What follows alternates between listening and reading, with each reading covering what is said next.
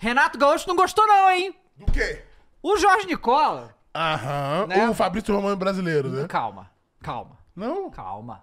Ah, isso que eu ia dizer, eu esqueci de comentar, mas o negócio do Martial com o Flamengo, o Fabrício Romano que deu, tá? Hum. Que estavam falando ali, né? Não que ia rolar nada não, mas o Fabrício Romano deu. Não, quando o Nicola der, aí a gente tem certeza que vai acontecer. Nicola falou, né?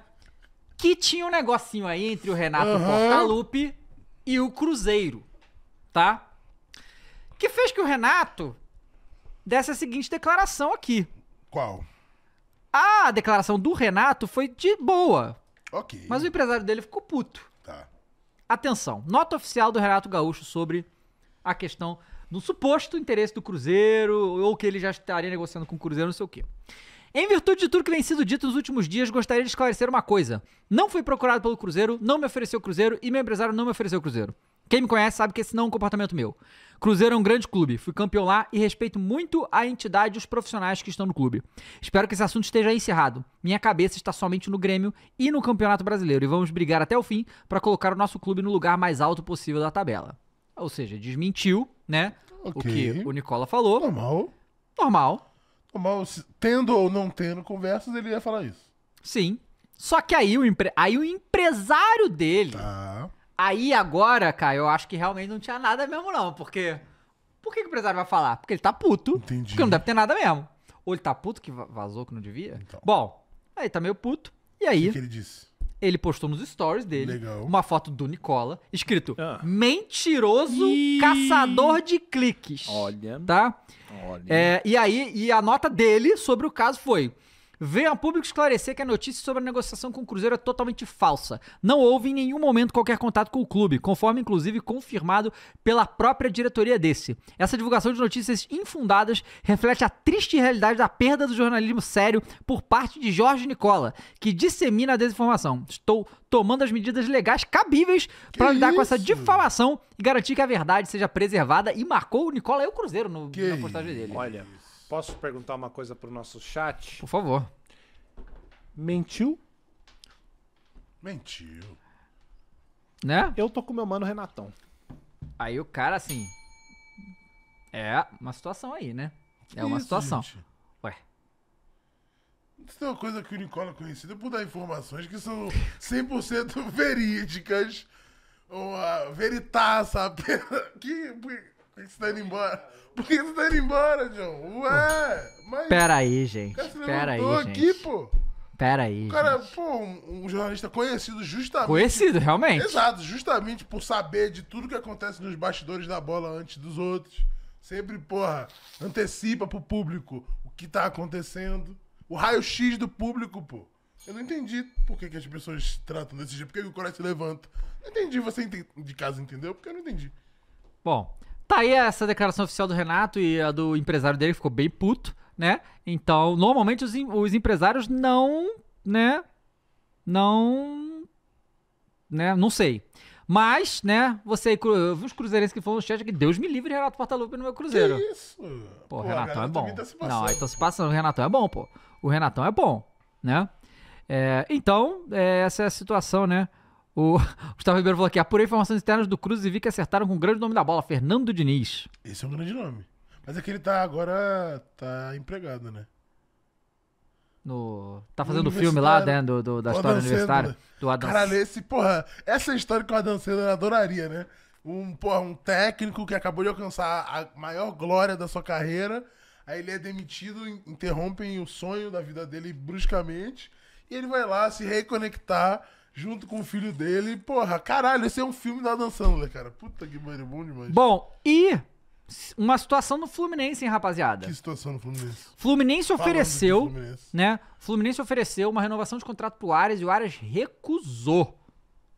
E por que parecia isso? Parecia que a situação é a seguinte: o Arias tá no Fluminense, é o- um dos jogadores mais importantes do Fluminense, pra mim, sei lá, top 10 de jogadores em atividade hoje no Brasil, né? Joga muito.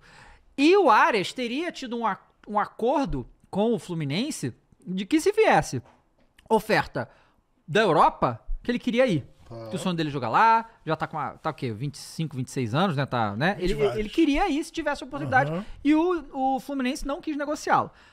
eu entendo o Fluminense não querer negociá-lo. É um dos principais jogadores e eles não iam conseguir muito dinheiro nisso aí. E já perderam o André, né? Verdade. E, assim, seguraram bastante, na verdade, né? conseguiu segurar bastante o André e tal, mas o Arias foi lá. Só que aí, né, o Arias ficou. A informação é que o Arias ficou bolado aqui, ó. A- obviamente, ele recusou a proposta de renovação, tá aqui. Destaque da- do Fluminense essa temporada, o Arias, John Arias, recusou a proposta de renovação contratual. A oferta foi de extensão por mais 4 anos e 3 meses, o que faria um vínculo até 2028. Também foi uma proposta é, de um considerável aumento salarial. A, a informação que tem é que foi um aumento de 50%, tá?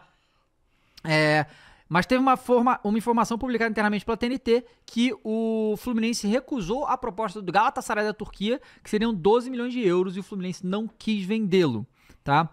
É, e o Fluminense tem um detalhe, que o Fluminense também só tem 50% dos direitos dele. Então, tipo, em qualquer Entendi. negociação ele só ia ganhar metade, né? Então tem essa questão também. E tá aqui, o, o, o colombiano foi pai na segunda e viajou para se apresentar à seleção colombiana, em Caro Peru, nesse, nesse final. E aí ele recusou essa proposta, e aí a gente tem aqui o empresário dele, ó. Ah, não, isso aqui é outra coisa. Empresário do área, ó. Empresário do área fala em guerras narrativas sobre o futuro e eh, contesta presidente do Fluminense, dizendo que descumpriu o acordo. Ele fala o seguinte, o empresário do Ares. Tem um apreço pelo presidente, mas ele descumpriu um acordo que tínhamos de resto, tudo segue na guerra de narrativa. É em vão. O jogador tem contrato até 2026, não tem por que mexer. A declaração agente do Ares vem no momento que a proposta foi feita ao atacante e foi recusada. Aí isso é foda, né? Porque aí, é, se gerar uma situação, o jogador estiver insatisfeito jogando ali, é tudo que o Fluminense também não precisa agora, principalmente depois que perdeu o André. O Arias é, o Fluminense ainda corre risco, que eu já vi. Eu tricô- acho que tem que sair mesmo. Porque, cara, eu vi, eu vi tricolores, tá? Depois que o Fluminense saiu da zona, depois de mil.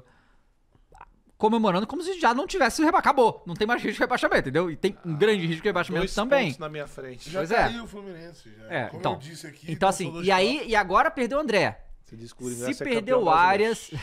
Não se cair perdeu. Arias, é complicado. Então, assim, é uma situação que ou o. Joga muito, hein? Joga muito. joga Ou o, o, o Fluminense acorda com as. Não, então, pô, sei lá, janela do meio do ano, vê a proposta, a gente libera. Uhum. Tentar consertar é, é, esse relacionamento aí, porque ele é importante demais pro Fluminense, pô. Ele é importante demais. Então, vamos ver como é que vai ser aí para o Flu. E aí, galera? O São Paulo tá bolado. Por quê? Porque não sei se você viu, De Cross. novo. O São Paulo. Tá sempre bolado. O São Paulo, Tricas. Casares tá sempre chorando. Não, Matheus chora. Mas aí quando. Mas aí que tá, né, Cross? Chora sempre. Mas aí quando tem razão, chora mais, né? Aí chora com razão, Porque mas o chora gol, o gol do Fluminense lá começou com Verdade. uma, uma Verdade, mão na bola ali do Thiago Silva. foi foda também, né? Aí Esse aí, é esse aí complicou um pouco. E é, é o que a Ah. gente fala, que a arbitragem brasileira não, não sabe com essas regras. Não. Simplesmente. Não. São Paulo irá Cada um reclamar. conhece a sua, né? Exato. São Paulo irá reclamar na CBF de arbitragem na derrota do Fluminense e o Casares deu uma entrevista falando que não sabe, porque não saiu até agora o áudio do VAR. Aham. Estranho. Ó, o, o- Diria eu. O Casares é, deu uma entrevista e falou: a arbitragem é algo muito difícil. Nós tivemos no Rio. No momento, só nos cabe representar, formatar um processo sobre essa situação. Reitero aqui: até agora o áudio do VAR não foi colocado. Na nossa representação pedimos isso. Estou estranhando essa demora. Que a CBF disponibilize esse áudio. É, por que que não saiu ainda, hein? Quase Por que, que não saiu? Porque deve ser bizarro. Com pô. certeza é bizarro. Sabe o que deve ser? Ó, o cara Porque- meteu a mão na bola. Não, meteu a mão, mas tá tranquilo. Não, não, não. Então, por que aconteceu? O VAR chamou. Sim. O juiz foi lá. Será que o juiz falou: Ah, cara, isso é bobeira, não vou dar nada, não. É. Foi isso. Mas foi exatamente né? a resposta não que vai anular o o... gol por causa disso, pô. Foi o a resposta que o árbitro Lá da Europa. na Champions deu depois do jogo. Ele foi Aham. perguntado, ele falou que ah, teria falado, né, que ele não ia que ele não ia marcar porque foi um erro, pô, muito infantil, não vou, pô, pô, bom senso aí, pô, o, o bom futebol, pô.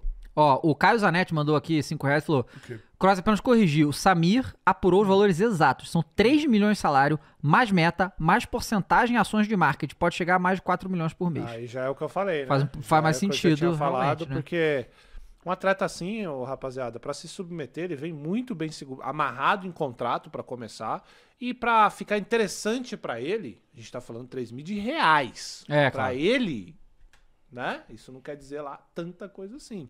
Então, É, que É, 500 mil tipo, euros. É, 500 exatamente, 500 então, mil euros, pô. Então, esse é o ponto. Então, pra ele tem que ser financeiramente agradável. Então, 2 milhões pra ele. Pô, quanto é que dá 2 milhões pra ele? Dá, dá, em euros dá o quê? 300 mil euros, é menos de foda, né? 300 A gente tá mil falando euros. simplesmente de um, de um dos atacantes picas que tem, holandeses. Então, um cara desse não viria por duas milhas, uma milha Ah. e meia. Né? A galera tá falando aqui, né? Que o Abel botou a mão na bola foi expulso.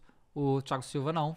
Verdade. Então, né, tem. Tem que escolher o momento de pôr a mão na bola, né? É, não, nenhum momento, eu acho, né?